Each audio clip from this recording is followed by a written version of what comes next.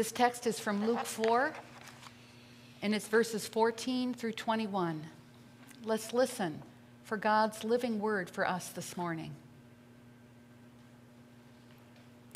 Then Jesus, filled with the power of the Spirit, returned to Galilee, and report about him spread through all the surrounding country. He began to teach in their synagogues and was praised by everyone. When he came to Nazareth, where he had been brought up, he went to the synagogue on the Sabbath day, as was his custom. He stood up to read, and the scroll of the prophet Isaiah was given to him.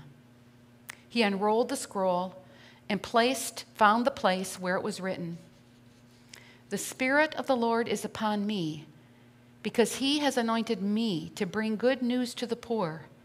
He sent me to proclaim release to the captives and recovery of sight to the blind, to let the oppressed go free, to proclaim the year of the Lord's favor. And he rolled up the scroll, gave it back to the attendant, and sat down. The eyes of all in the synagogue were fixed on him. Then he began to say to them, Today, this scripture has been fulfilled in your hearing. This is the word of the Lord. Thanks be to God. Please be seated. And will you pray with me, please?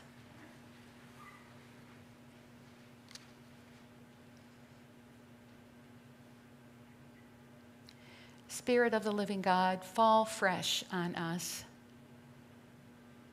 Melt us, mold us, fill us, use us, we pray.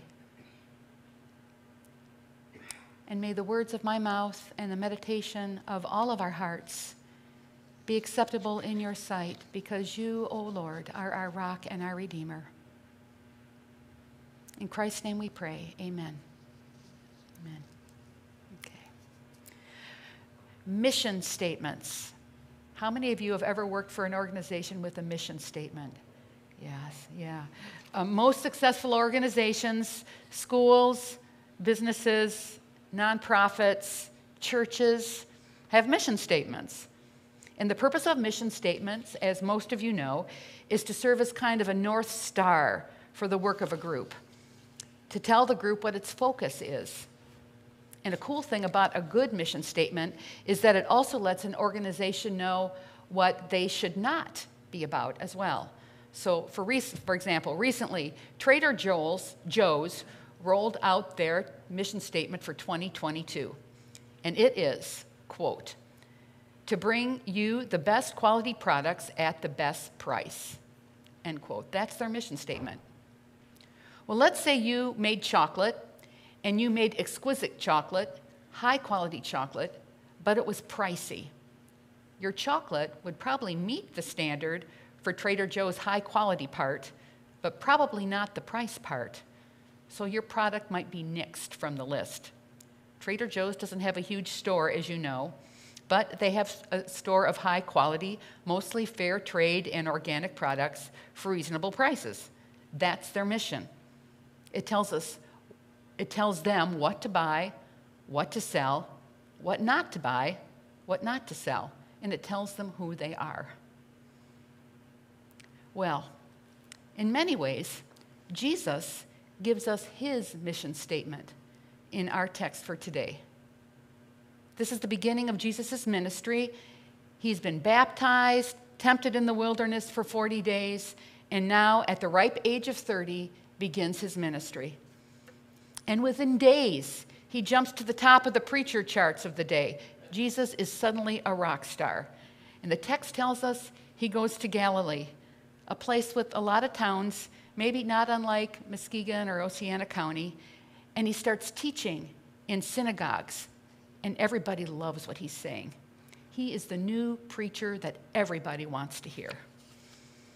Well, we can only imagine that when he came to his hometown, Nazareth, the town was ecstatic.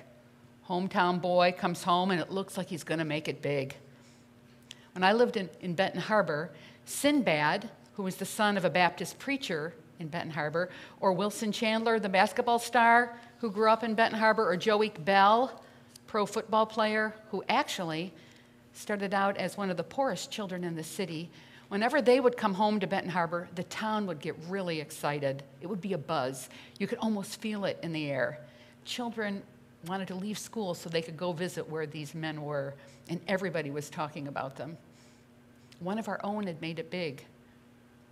I wonder if it was like that for the people of Nazareth when Jesus came home that day. And Jesus goes into the synagogue and is handed the scroll, and he reads from Isaiah and says, The Spirit of the Lord is upon me to bring good news to the poor to proclaim the year of the Lord's favor. Now, the year of the Lord's favor in the Old Testament is the same as the year of Jubilee. You can read about that in Leviticus 25. The year of Jubilee was supposed to happen every 50 years in Israel. And in the year of Jubilee, all financial and real estate debts were to be forgiven.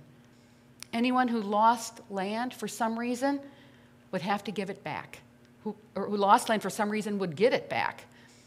So the year of Jubilee would be really good news for people who were poor and struggling.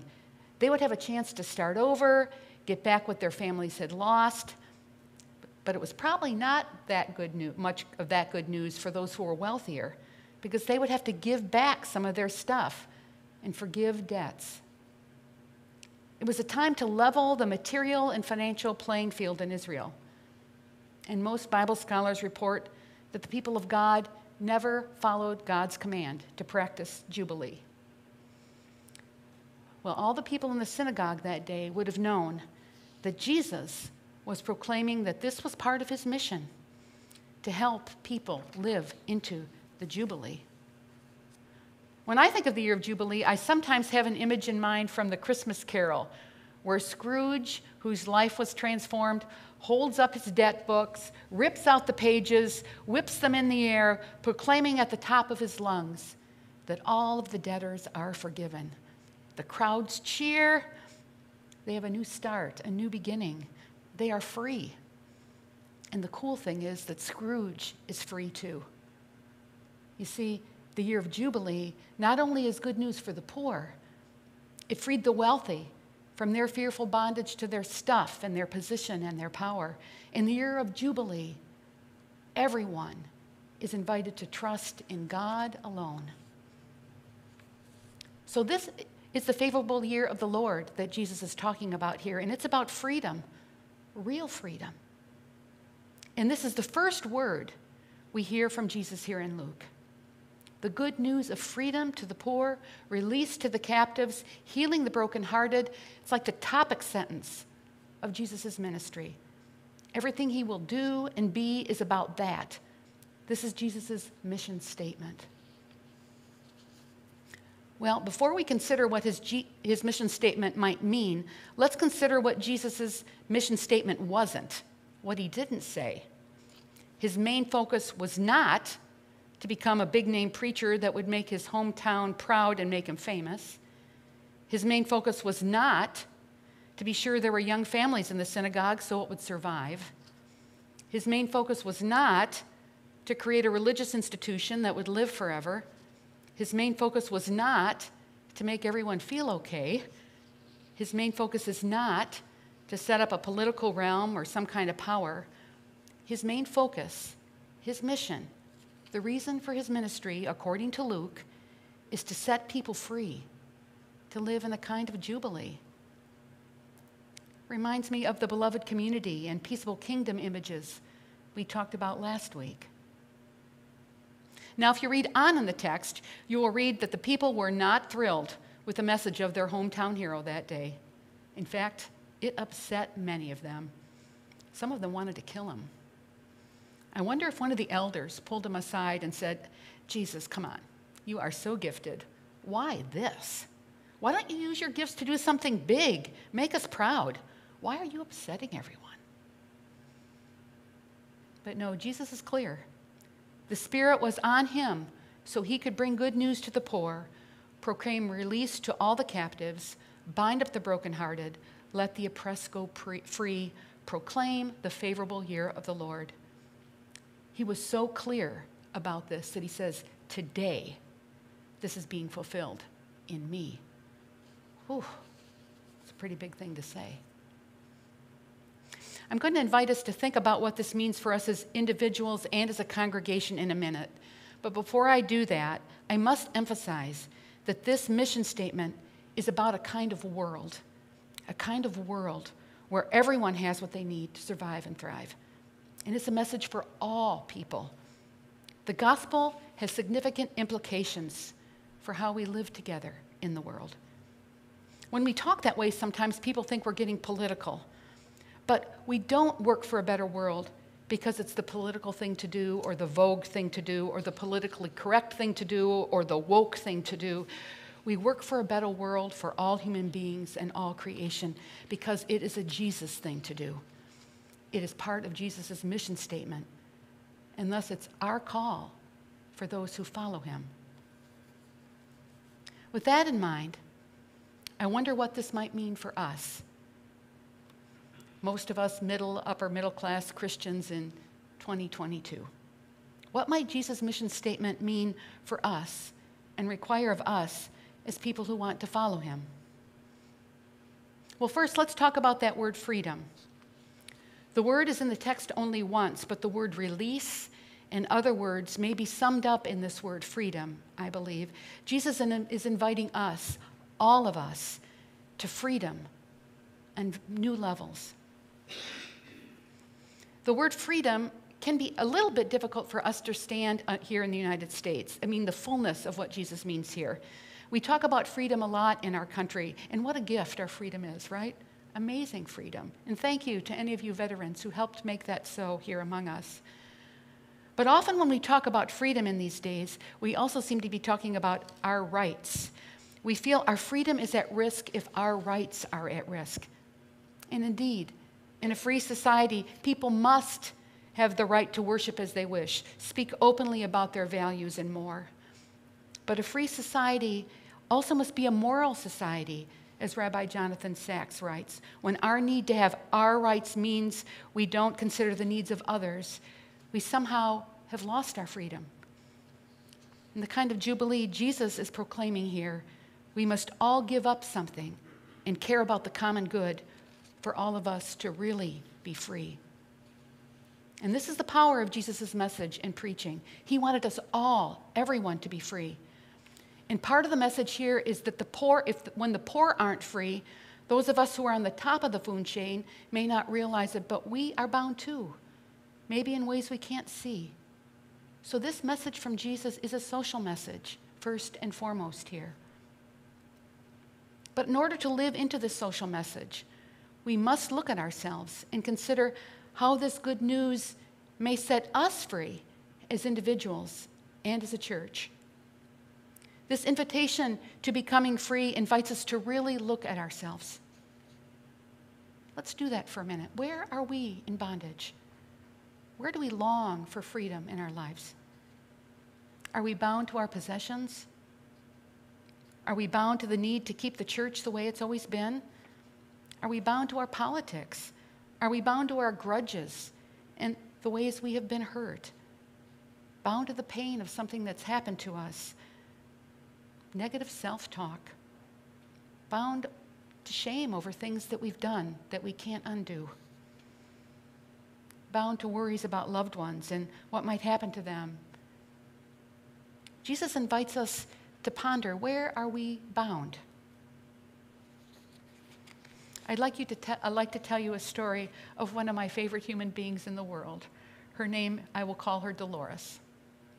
Dolores had a son who was a gifted musician. He was also gay, and he struggled with depression. In desperation, one day, Dolores' son tragically took his own life. And I don't need to tell you the incredible grief and anguish and loss the journey of life was for Dolores and her husband after that. Understandably so, the loss and guilt consumed her for many years. And there were times when it was hard for her to get out of bed, much less hear about other women's sons who were getting married, making them grandmothers, and being successful. And she was understandably angry at times. Those of us who loved her ached for her and with her, and she did her share of crying out to God. For a while, she was locked in the bondage of the loss. She told me one day that she heard a sermon in a church about Jesus wanting to set her free. She told me, I knew it was time. And she started listening to the whispering, this whispering in her ear. She said, It was like Jesus was right in my ear saying to me, I love you, Dolores. I love you, Dolores. And she told me that she eventually started to really believe that that was true. And she began to slowly let herself off the hook for what her son chose.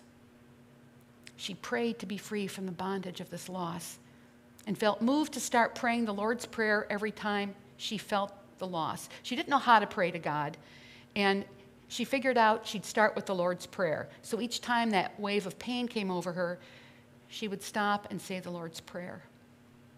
And over the years, she found herself feeling joy again. As I mentioned, her son was a musician. Actually, he was an incredible drummer. And she began giving a tenth of her income to a local music program that helped needy children and adults get musical instruments and have music lessons. Dolores will always miss her son. She will always grieve her son but she has always been also been able to receive a new life, honor his legacy, and do her part in creating a community of jubilee. And the priority of Jesus' ministry is to free all of us captives. We can hardly be human without being captive to something. And Jesus wants to set us free to know that we too are deeply loved not because we do it right all the time or make the right choices, but because it's Jesus' mission statement to love us and set us free so we can be loved, share love, and live love. Oh, for the grace for all of us to receive this love anew today and to be set free. Where do you long for freedom, my friends? Jesus longs to free us all to really live. And I'd also like to invite us to think about what this might mean for us as a congregation. A couple of the women in our Dwelling in the Word group this week indicated that they wonder if this invitation of Jesus, this release to the captive, means that all of us have the chance for a new beginning. One woman wrote to me, it releases us to be something else. I wonder if this message frees us to receive something new as a congregation. I'm going to speak, frankly to you now because I really like you. I've been discouraged by how many times I hear these words, something like, we're just a bunch of older people. I want to say this to you. When we say that about ourselves, we're letting the youth culture define us. Yes, we are predominantly an older congregation, but there are also a number of middle aged and younger people here with many gifts. But the majority of us are older but we are full of gifts and talents and time and wisdom born from experience in life and what life has taught us and passion. We may be older, but I believe Jesus is using us and will continue to use us. And let's remember that sometimes Jesus uses people the world least expects, like uneducated, stinky old fishermen, for example, to bring the gospel to the world. I would invite us to stop saying that we are older and stop dreaming about how our age may be a strength and that we may be being released to living into the rich legacy of this Christ centered and mission driven congregation in new ways. Now, the challenge, of course, for being a group of older people is that we can sometimes get stuck in our ways and have a harder time being open to the new ways of being church together and in the world. We can tend to live in the glory days or the old days and try to recreate them rather than imagining how Jesus may be freeing us to something else. But Jesus is freeing us to be who we are and more. I wonder what that something else might be. There's a group that's been appointed by the session to eventually be elected as our pastoral nominating committee that first needs to help create a mission study. And this group and the session are looking at our mission statement, looking at some of the incredible visioning work that was done here a few years ago, and discern how God is calling us at this time I pray that you will hold them in your prayers. And you will have an opportunity for some input into this process. And as we pray about this and listen for the Spirit's leading, let's keep in mind Jesus' mission statement. Because our primary call as disciples of Jesus is to follow him. Actually, I, I want to read to you, I think our vision statement that was adopted by the session in 2015 really speaks to some of this. Let me read this to you. I don't know if you've seen it. You're going to be seeing it more in the future. But this is what some of you wrote FPC Muskegon's vision is to nourish minds, bodies, and spirits, crossing boundaries and devoting ourselves to serve in the name and spirit of Jesus Christ. Rooted deeply enough to risk being reshaped. I'm going to read that again. That's a powerful line. Rooted deeply enough to risk being reshaped, we will have the courage to continually explore new ways to move in the direction in which the church may be called by God. Friends, that's freedom right there. Also, I just want to read what our Book of Order says. The church is to be a community of faith, entrusting itself to God alone, even at the risk of losing its life. Jesus' mission is to invite all of us and all humankind to a journey of freedom. And let's remember that this is also a journey of grace. We're hardworking people and we don't need to say, egad, now I got to work at being free too. No, that's not the message here. We are loved by God more deeply than we know. And Jesus will show us the way to be free. Our part is to listen and follow and know that sometimes the journey of freedom is one step forward, two steps back, two steps forward, one step back, right? But a day by day listening, following, learning to embrace each other and the common good. I'd like to close this sermon by inviting us to pray together. And this is a pray, prayer practice you may want to try at home as well. Um, but this is a practice where we will um, seek to receive the gift of freedom that Jesus gives us. So I invite you to put your hands out like this and close your eyes.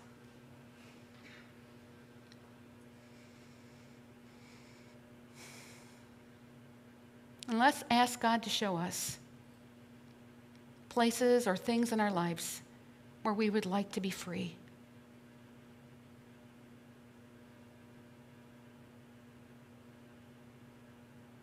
Don't force any thoughts into your head. Just see what rises. If nothing comes, don't worry, but just be still for a minute or two. It may be that grudge, it may be that worry.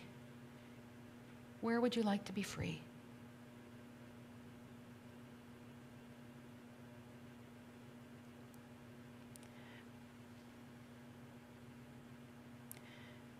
Now imagine that thing or place in your hands.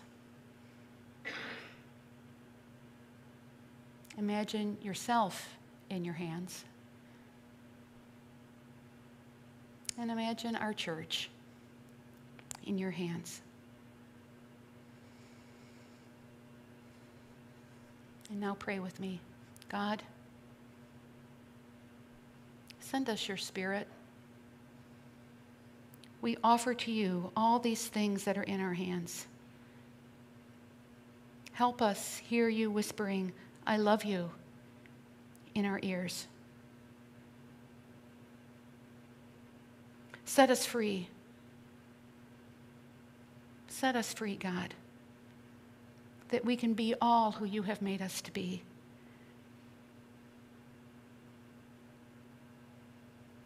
And help us to follow you as you live out the mission statement. May we be people who proclaim good news to the poor, release to captives even us, and work toward a world where the oppressed and their oppressors become free. Give us joy in this journey, we pray. Amen.